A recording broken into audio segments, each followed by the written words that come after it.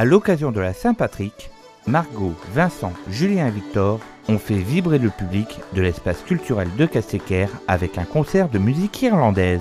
Cette musique-là, c'est vraiment une musique initialement qui est une musique de danse, quoi, qui servait, euh, bah, qui avait une vocation euh, festive, récréative, euh, historiquement en, Irlande, et puis qui maintenant crée des moments de convivialité donc dans, à l'intérieur des pubs, quoi, dans tous les, tous les bars qu'on peut trouver en Irlande. Il y a, ce qu'on appelle les sessions, les, les, endroits où les musiciens se retrouvent régulièrement pour, euh, pour jouer cette musique. Rumble Ditties, c'est aussi des chansons anglaises et écossaises qui racontent la vie des marins, la vie sous l'occupation, des histoires d'amour et l'exil de l'autre côté de l'Atlantique.